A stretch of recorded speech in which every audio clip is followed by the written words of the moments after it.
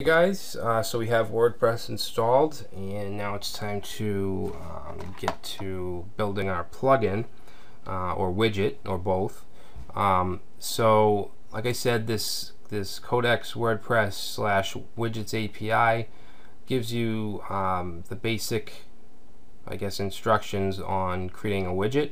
So the class, we're going to create a class and name it and it's going to extend WP widget all right and then that's our main class. You can see that this this sample file has a construct which is run when uh, the object is initialized. We have a widget class which um, is that that's where we output our content uh, into our position or, or, wherever we're displaying the widget. Uh, form this takes care of the admin form so where we add parameters and things like that and then update will actually um, run our parameters um, and run whatever the plugin does um, when you save it. And then down here to kind of uh, initialize it, we want to use um, add action. Okay, and then we're just going to pass in um, widgets init and then create function and we're going to call this register widget function and that'll um, basically initialize it. Alright, and this here, uh, this is for PHP 5.2 plus, and this is for 5.3. Alright, um, I think we're going to use this version just in case people don't have um, PHP 5.3. And then you have an example, okay, um, but it's basically stuff we're going to do, so we don't have to look through that really.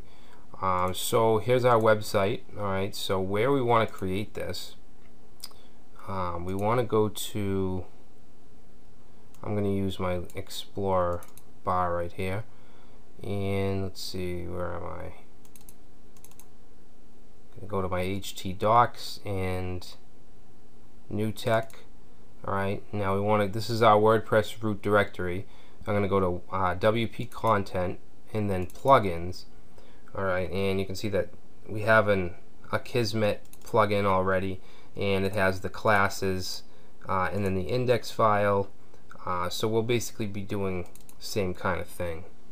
So I'm going to create a new folder here. And this is going to be our plugin folder. Alright, um, I'm going to call it contact dash widget. Okay, so we'll go in there and we're going to create uh, four files really. Um, let's see, the first file is going to be the main file, which will be called the same name as the plugin folder. I'm not sure if that's a convention or not, but that's just what I've always done. Uh, and then we could put our class in here, but I just want this to kind of um, just be the base file, and then we'll create our own class file. All right, so we'll call this class dot contact widget.php. Okay, so the convention I'm using for the classes is actually the same as this Akismet. You can see we have the class. They have a couple different ones. We're just going to have this main one. Alright, and next um, we want our PHP file and that's going to be called mailer.php and that's going to take care of actually sending the email to the to the webmaster. All right, and then we want a JavaScript file, so I'm going to create a new folder, call it JS, and then create a new file and call that script.js. Okay, so that's it. That's the entire structure of our plugin. And you can see that it just has a lot less files and folders than uh, the standalone projects that we've been building. Now if we go to our main contact widget file, uh, we need to include um, a comments block in order for WordPress to, to see that this is a plugin. And if we go to this um, writing a plugin document, uh, if we scroll down, where is it? Okay, so right here, is an example, alright? So it's basically a file header and it can have a bunch of different information here the plugin name which is um, you need to have that and then the pub the, the URI the description version author author URI and license. Now I think the only one that's mandatory is the plugin name I'm pretty sure. Um, I don't think it says it here though but what I'm going to do is just copy this and put this right in here and just change some things around. So the name of the plugin, um, I'm going to give it a name of Ajax Contact Widget. Okay, we don't need a URL or URI description. Let's change that. And let's say simple Ajax powered contact form widget. Okay, version we'll keep 1.0. Okay, author, I'll put my name. Feel free to put your own. Okay, author URI, I'm just going to put in Eduonix.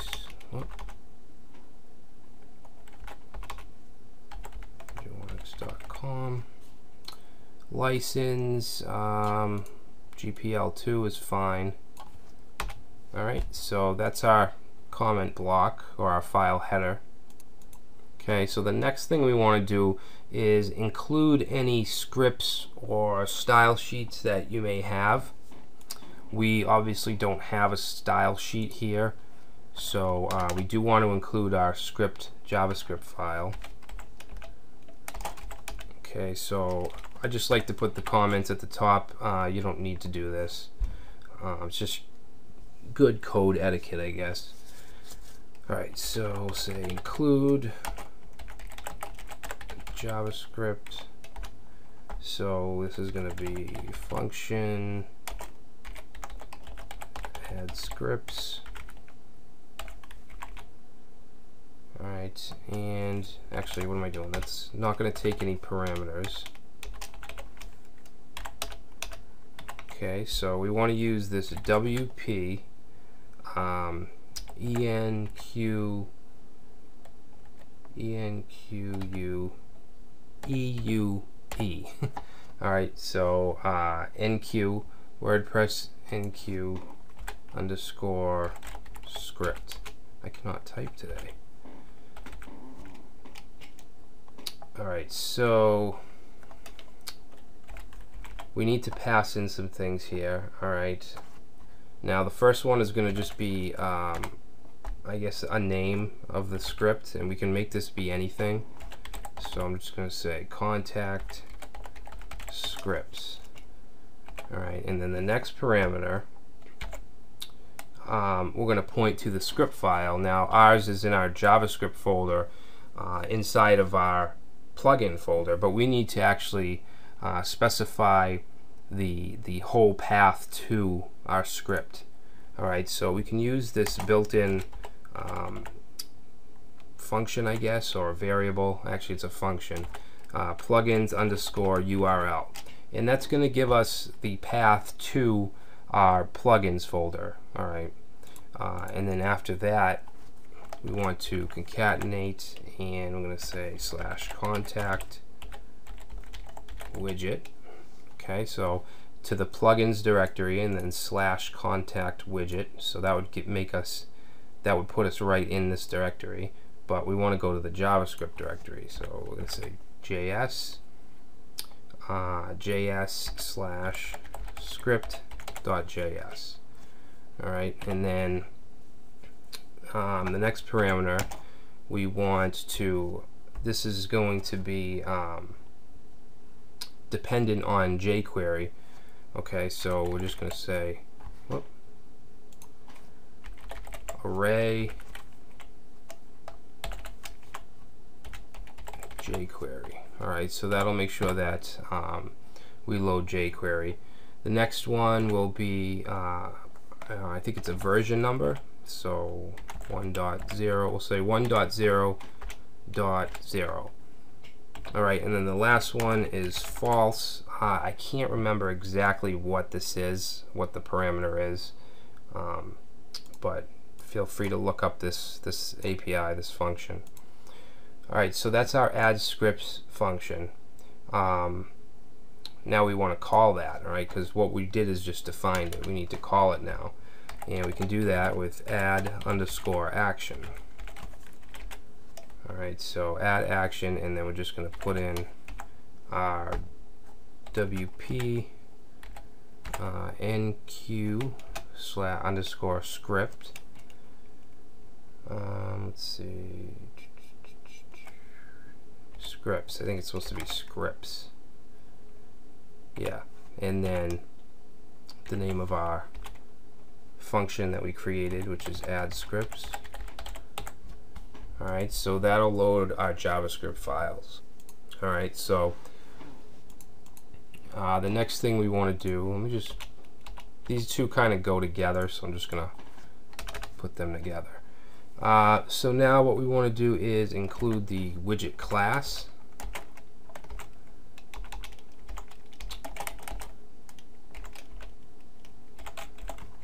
Okay, include class.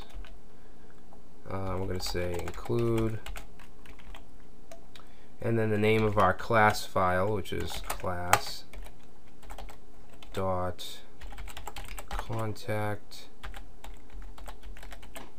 widget dot php alright and like I said you can put your whole class into your main file uh, but I just like to separate it. I think it's a little neater alright so next we want to uh, register the widget.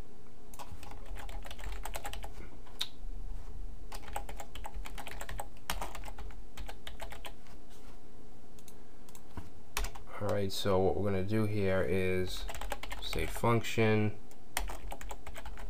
register contact widget okay no parameters.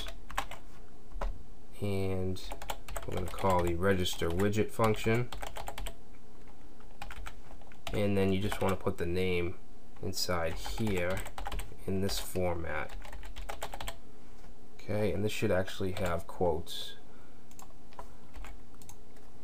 Alright so that'll create the register function. Now we have to just do our add action again and this add action you can find all the different options. Um, where is it? I think it's in on this plugin page.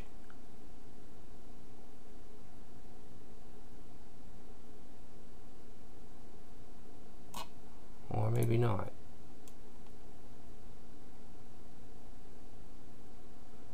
Hmm I'm not sure what the exact URL is. Um, widget functions. Here's the register widget that we just used. But there's a there's a document somewhere that gives you all the options for the API for add action. Um, but anyway, you know, when you use add action, you put in that that name or uh, value um, that's listed somewhere on WordPress.org. You can find the different options and then just the name of the function here or you can actually paste in the actual code. Alright so you'll see add action a lot when you're dealing with WordPress plugins. Um, so the action we want here is widget underscore init which obviously is an initializer. And then of course we just want to pop in our plug our function name. Alright put these together. These two go together so that's basically it. Uh, it's a nice clean index file. Um, we're just including our JavaScripts, then we're including the class, then we're registering our widget. Alright, so save that. And in the next video, we will uh, move on to create our class.